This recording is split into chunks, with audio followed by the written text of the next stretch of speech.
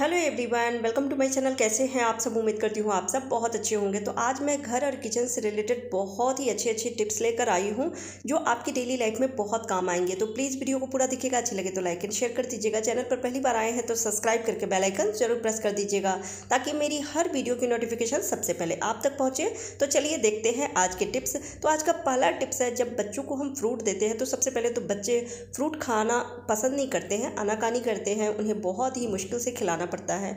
लेकिन कुछ फ्रूट ऐसे होते हैं जो हम देते हैं खाने के लिए तो वो हाथ गंदे कर लेते हैं, फिर वही हाथ कपड़ों में पोछ लेते हैं तो कपड़े भी गंदे हो जाते हैं। तो मैं आज दो तरीका बताऊँगी बनाना देने का।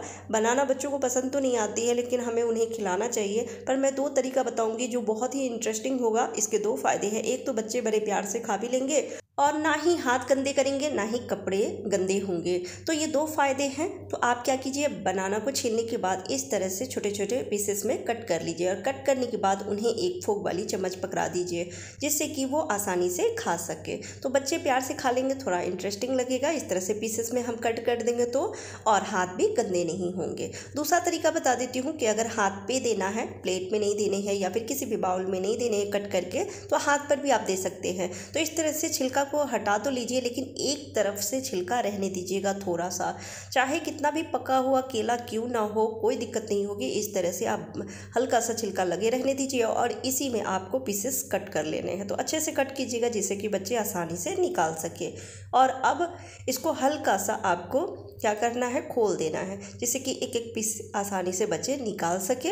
और अब हाथ पर ही दे दीजिए और चम्मच पकड़ा दीजिए। टूथपिक है, टूथपिक दे दीजिए। वैसे बच्चे टूथपिक से भी खाना बहुत ही पसंद करते हैं तो टूथपिक भी दे सकते हैं या फिर इस तरह से चम्मच दे दीजिए और वो बड़े प्यार से खा लेंगे। छोटा सा टिप्स है, लेकिन बच्चों के लिए इस तरह से इंटरेस्टिंग बना के जब हम कोई भी चीज़ देते हैं तो वो बड़े प्यार से खा लेते हैं। उम्मीद करती हूँ टिप्स आपको पसंद आई होगी। अगला टिप्स है, चूहा भगाने को लेकर। आज हम एक ऐसा सोल्यूशन बनाएँगे, जिससे कि चूहा मिनटों में ही घर से बाहर भाग जाएँगे। कई बार घर में चूहा बहुत ज़्यादा हो जाते हैं और वो बहुत परेशान करते हैं, सबसे ज़्यादा कपड़े बर्बाद करते हैं और घर में गंदगी फैलाते हैं, जिससे बहुत ही गंदी बदबू भी आती है। तो इसको भगाने के लिए हमें ले लेना है तीन चम्मच गेहूँ का आटा। आप बेसन भी ले सकते हैं। तो मैं गेहूँ का आटा ली हूँ और इसमें बिल्कुल थोड़ा सा देसी घी ली हूँ। देसी घी की खुशबू बहुत ही स्ट्रॉन्ग होती है, बहुत ही दूर तक उसकी खुशबू जाती है, जिससे चूहा भागे भागे आते हैं खाने के लिए।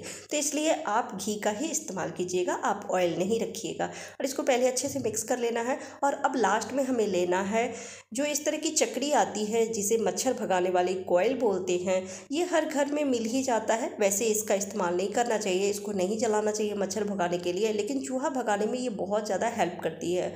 तो आप एक भी दुकान से ला सकते हैं, खुले में मिल जाती है और बिल्कुल ही छोटा सा टुकड़ा लेके इस तरह से हमें रख लेना है। पाउडर भी बना लीजिए, नहीं तो आप ऐसे भी रख देंगे तो इसका जो रिएक्शन है, ये आटे में आ जाएगी और इसको खाते ही चूहा को बहुत ज़्यादा प्रॉब्लम होने वाली है। तो इसको अब अच्छे से मिक्स कर लेंगे और मिक्स करने के बाद पानी की सहायता से हम डो तैयार कर लेंगे। तो ज़्यादा पानी नहीं रखना है, इस बात का ध्यान रखिएगा। एकदम ज़्यादा हार्ड डो तैयार नहीं करने हैं, ना ही बिल्कुल सॉफ्ट जैसे रोटी के लिए तैयार करते हैं, बिल्कुल वैसा ही।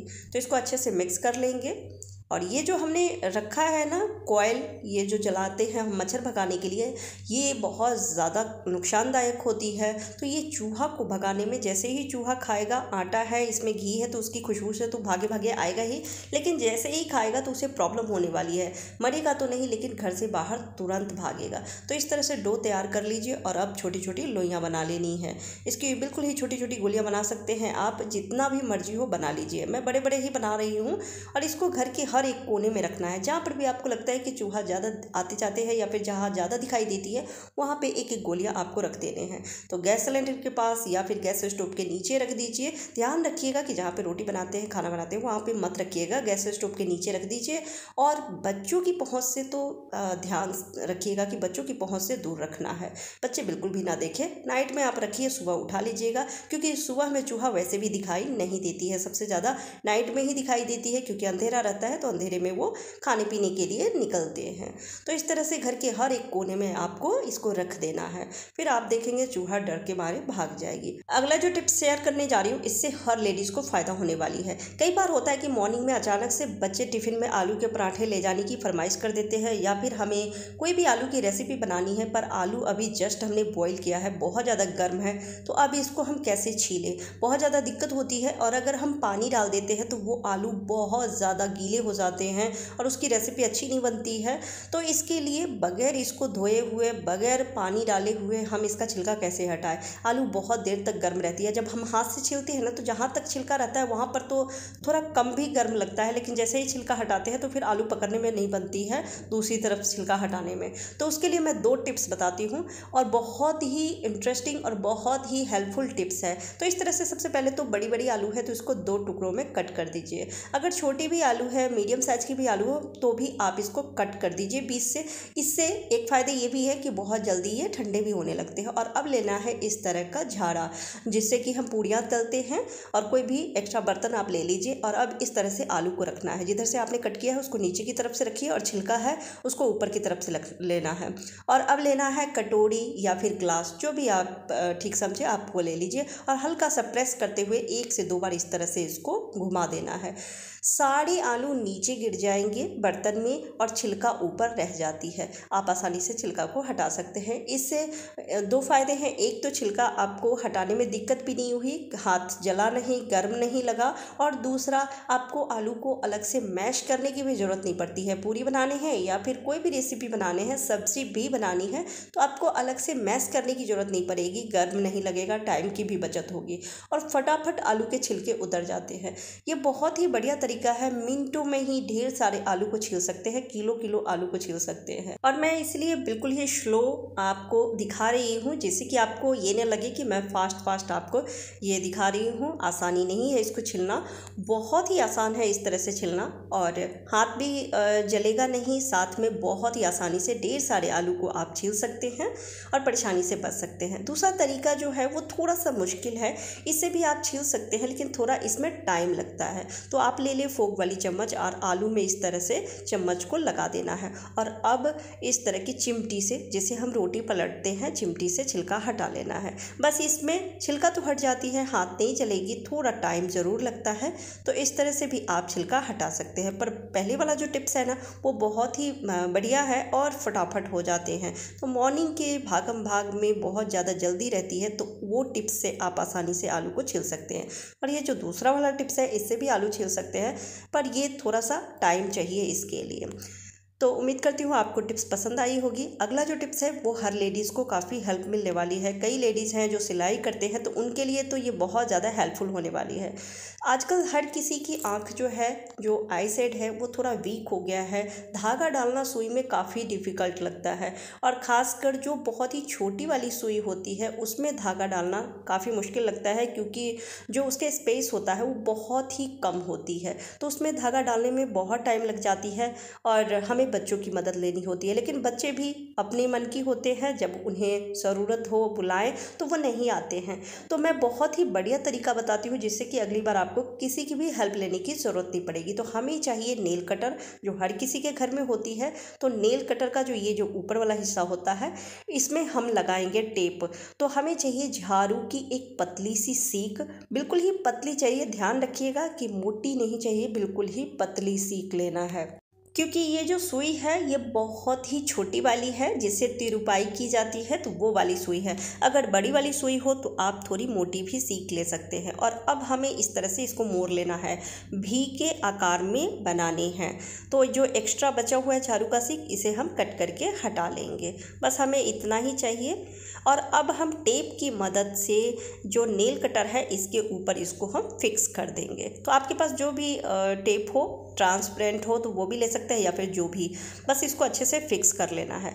और फिक्स करने के बाद आप देखेंगे, कुछ सेकेंड में सुई में धागा बड़ी आसानी से चली जाती है। तो इसको मैं फिक्स कर ली हूँ और अब मैं धागा डाल के आपको दिखाती हूँ। तो धागा का जो ऊपर का जो शेरा होता है, उसको कट कर लीजिए, क्योंकि उसमें रेसे निकले रहते हैं तो थोड़ी दिक्कत होती है धागा डालने में।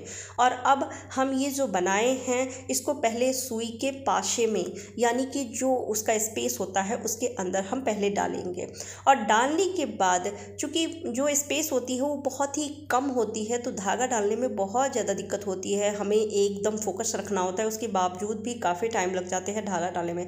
लेकिन जब आप इसको डालेंगे ना, क्योंकि ये तो लकड़ी है तो बहुत आसानी से उस स्पेस में चली जाती है और उसके बाद उसमें धागा डालिए तो आसानी से धागा जाएगी और फिर इसको बाहर निकाल लीजिए तो इस तरह से इसको बना के आप रख सकते हैं और ईज़िली धागा आप डाल सकते हैं। अगर सिलाई करते हैं तो आपके लिए ये काफ़ी हेल्पफुल है।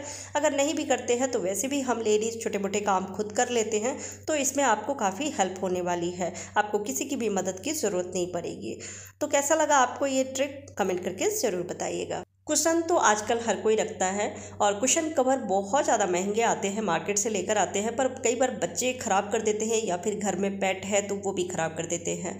तो हम कितना कुशन कवर लेकर आए और घर में पुराने या नए कपड़े इस तरह से बहुत सारे होते हैं जिसका हमें कोई यूज़ नहीं रहता है। हमें लगता है कि ये बेकार है, इसे फेंक देते हैं। तो पुराने दुपट्टे हैं, पुरानी साड़ियाँ हैं या कोई भी ऐसा कपड़ा जैसे ये ब्लाउज़ की पीसेस होते हैं जो काफ़ी छोटे होते हैं, साड़ी हम मंगाते हैं तो उसकी मैचिंग ब्लाउज उसमें रहती है। पर अगर हेल्दी हैं ब्लाउज़ के पीसेस नहीं आ रहे हैं तो हम अलग से ब्लाउज़ लेते हैं। तो वो ऐसे ही परा रहता है। तो आप उसका बहुत ही बढ़िया इस्तेमाल कर सकते हैं।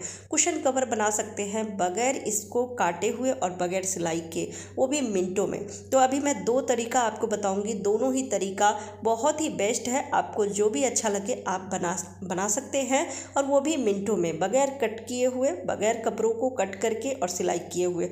मिनट भर नहीं लगता है और आसानी से आप बना लेंगे। तो इस तरह से कुशन को रखना है और कुशन को रखने के बाद कपड़े का दो कॉर्नर एक दूसरे के ऊपर इस तरह से लेकर आना है। और यहाँ पे इसको सिफ्टी पिन लगा देनी है या फिर आप धागे से ही थोड़ा सा सिलाई कर दीजिए, यहाँ पे नॉट लगा दीजिए जिससे कि ये खुले नहीं। और अब ये जो दोनों कॉर्नर बचा है, इसको फिर से एक दूसरे के ऊपर लेकर आना है। वीडियो को ध्यान से देखेंगे तो आपको समझ में आ जाएगी और कोई मुश्किल नहीं है इसे बनाना। बस आप एक बार वीडियो को ध्यान से देखिएगा।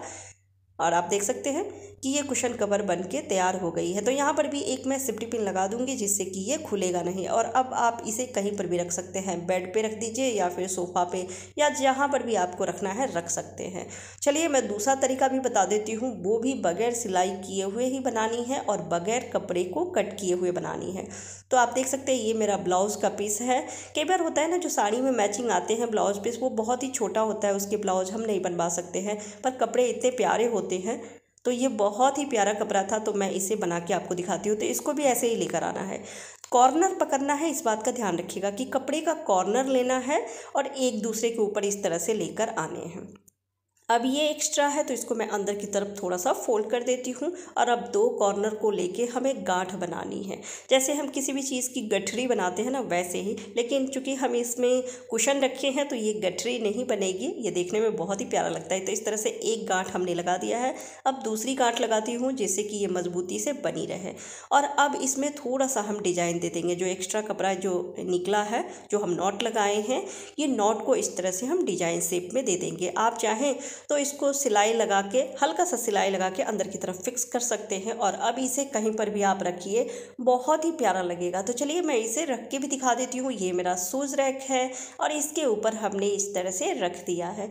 कितना प्यारा लग रहा है और इसे बनाने में बिल्कुल भी समय नहीं लगी है तो आपको कैसा लगा कमेंट करके ज़रूर बताइएगा और बाकी के टिप्स एंड ट्रिक्स कैसे लगे कमेंट करके ज़रूर बताइएगा। अच्छी लगी हो तो वीडियो को लाइक एंड शेयर ज़रूर कर दीजिएगा। Bye take care.